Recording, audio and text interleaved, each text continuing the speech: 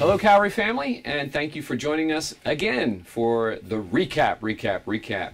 Uh, we skipped a week uh, for various reasons, and so we have a lot to recap. So here we go. We're going to jump right in and talk about the last two weeks. So, Yes. Pastor Stewart, uh, we had a guest uh, Yes, about we two did weeks ago. two weeks ago. Uh, yeah, uh, two weeks ago this coming Sunday. Um, Pastor Trey Rhodes from Northwood Baptist Church in North Charleston, South Carolina, a childhood friend of mine. Um, he is now, they call him there the connections pastor, which means he's trying to connect their uh, guests into their church. Um, and how, what does that look like? And for him, that covers uh, into Sunday school and other groups uh, and, and things like that. So he came to help us uh, to improve our greeting, and I got to implement one part of that the very next week. So that was neat. Cool. Yeah, one of his, um, I remember one of his lines, which is worth gold, Right. was, uh, How long have you been here at Calvary? Yes. That's just How so have you- helpful. how long have you been attending? yeah, how long have you been attending? And hey, if you're watching this and you don't usually greet, you see somebody you don't know, say, hey, how long have you been attending Yeah. Calvary? Very friendly, non-confrontational kind of thing. All right, um, big thing in the news is Afghanistan. Yeah, Afghanistan. O- So- obviously, and, and uh, we, we we won't talk politics because we just need to go from where we are to where we need to be, and uh, it doesn't look like we're going to to do that. Uh, so we need to be praying. Um, a lot of people converted to Christianity when the when we went to war there because when the doors open like that, missionaries, missionaries follow. go in.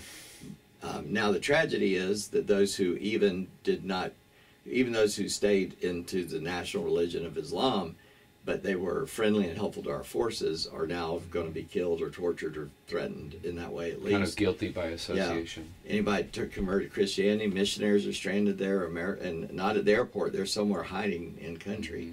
Mm-hmm. Um, the Taliban will be searching for them, and all these people are now completely in danger. And um, Yeah, shelter in place. Uh, I, when I heard that, I thought like hide is what you're saying. Yes. Yeah, that's what that is. Nice Run word for and hide. And hiding never works, especially for, uh, you know, uh, as a friend of mine said, you don't go swim in the ocean because that's the shark's living room.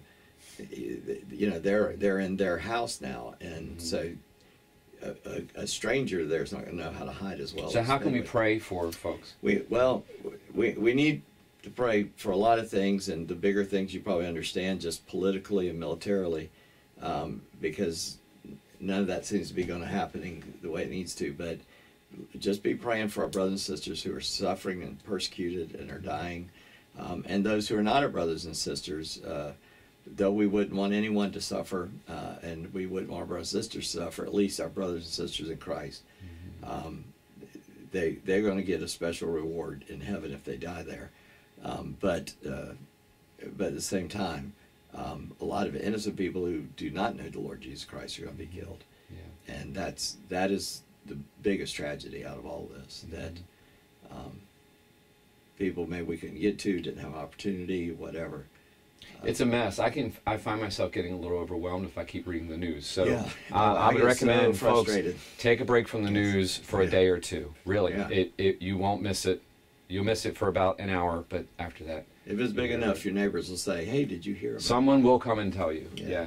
Um, but on a positive note, Yes. uh, back to school. Kids uh, are in County, school in County. person. They have to wear a mask, which you know uh, we won't do that politically either. But um, But it at came with a- least they're in school. But it came with a price. Yes. And now we're seeing that. So we see a rise in COVID 19 numbers. yeah, and and it's the new variant, and uh, we you know uh, I guess I don't know if the whole country had amnesia at the very beginning. Like it's a virus, it's going to mutate even if they get a Mhm. vaccine.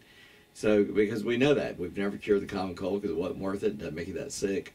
Um, I understand COVID is a bad flu and people die. People die of all kind of flus.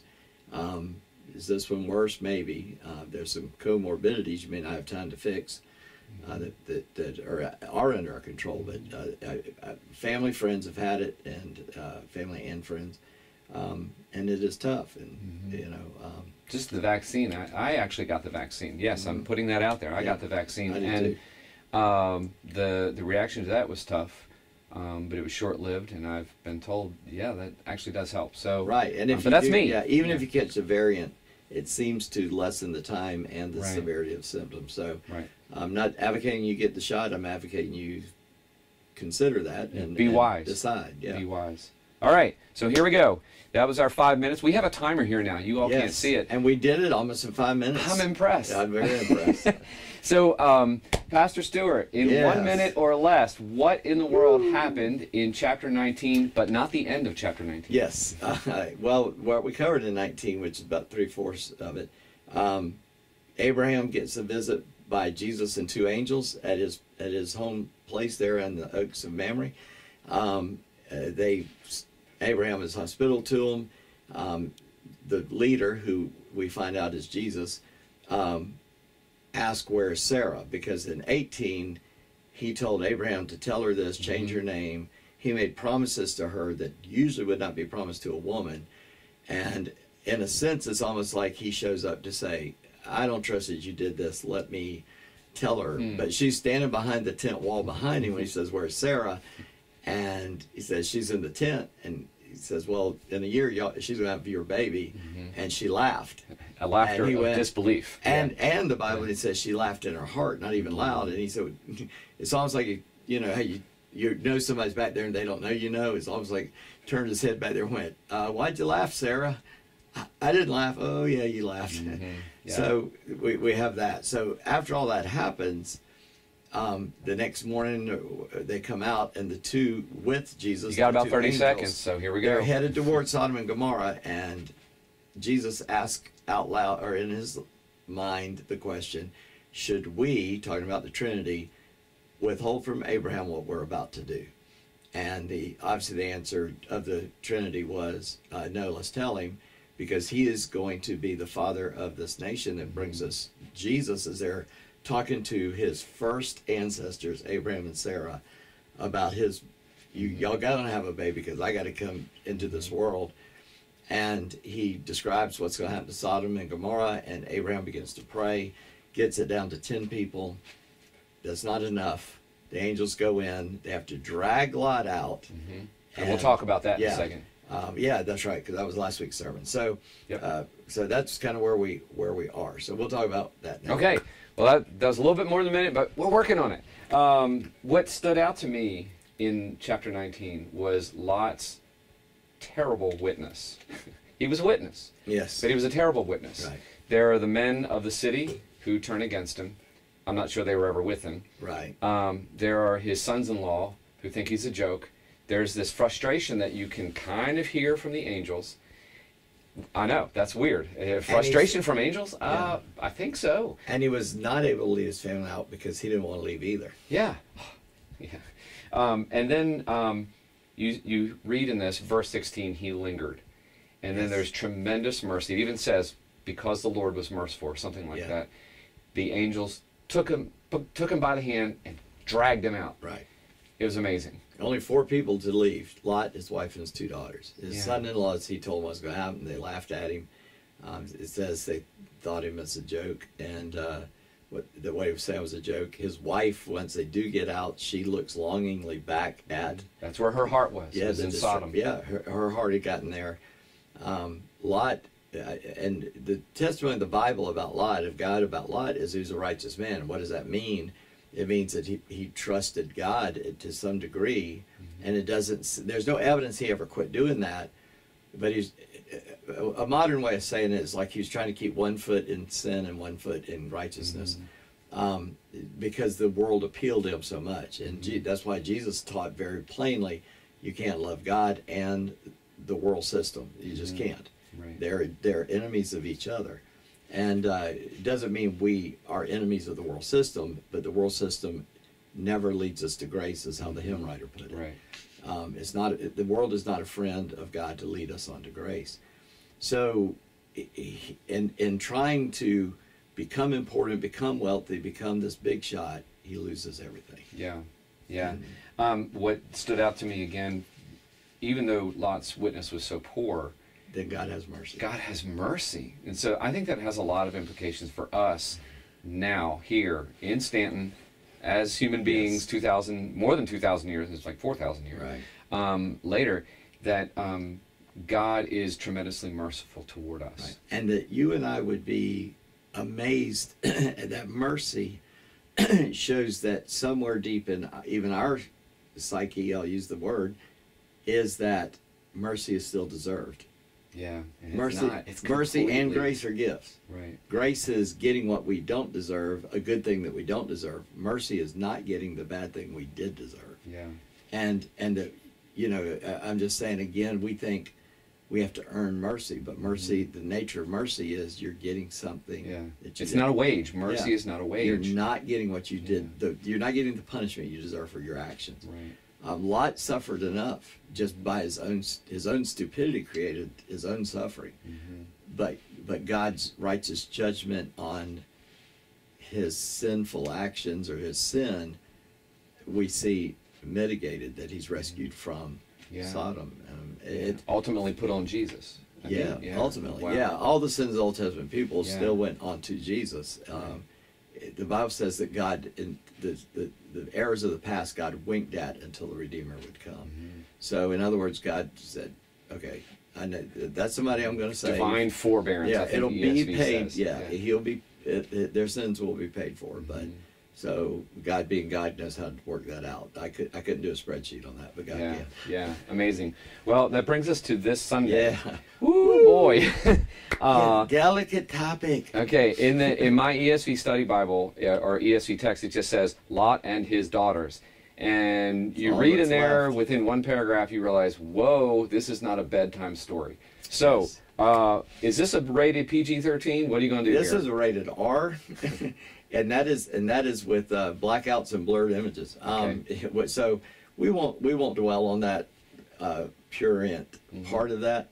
Um, Purient. That's a good word. Purient. He said know, purient. and I Yeah. may have misused it. I was just trying to use big words like salacious. yeah, yeah. Hel- elephant, hippopotamus, yeah, big words. Uh, anyway, no, um, yeah, and, and it is, and and think about it. Out of lot, out of uh, three, six people, there's three left, um, and they had to be dragged into that rescue, and in the opening paragraphs we see that Lot is almost forced. It doesn't tell us why. There's a lot of stories in the Bible that once you really start meditating on them, you go, yeah, I want to know more, and you don't. They're they are no longer in Zoar. They find themselves in a cave Not far from. in the mountains where the angels told them to go to start with. Amazing. uh, so, um, the speculation and commentaries that I've read uh, were that very possibly, well, this city's about like the last one because it was. It was one of the five cities that was supposed to be destroyed, and God didn't destroy it just because Lot went there. Um, that was one thing. Another thing is Lot may have woken up next morning and went, "There's nothing left of those other cities," and this one was supposed to go up Hmm. maybe it's a delay fuse on this sucker. Let's get out of here. Mhm. So that's that's not how the commentators put it. They put it in much more nice terms, but that could have been his thinking. But he finds himself in a cave with his two daughters in the mountains. The daughters are concerned that uh, their dad is not going to have any lineage, any uh, and uh, you know wealth and importance is seen in your children. That's why Abraham's a big deal in those days, um, or would become a big deal and they do something that's extremely sinful, uh, uh, uh, having physical relationship with a close relative, which the law is not there yet. But even the Everybody way, knew everybody right. knew that is it's, That right. something a little sick here. Mhm. But the Bible again about Lot's righteousness makes it clear in both cases, and he did not know what happened Mm-hmm. because they got him drunk. Now you say, well, he shouldn't have drank so much. Oh, Yeah. well, there's a sin. but he he did not know, you know. And the question coming to me later is, when did he look at his daughters and go, "Y'all are pregnant"? How'd that happen? And so I don't know if they told him. We don't know. Mm-hmm. But there's a huge twist in this story at the end, mm-hmm. and I'm going to save that for Sunday. Well, if you read it, you see it's like that looks like an important plot point. Yes. And, and it has to do with uh, two Their nations children. that that come Their out of those kids. So yeah. yeah, yeah. So uh, look up look, up the names of the children of those daughters and the nations that they produced from those daughters and how it played into Israel's history in the Exodus. Yeah.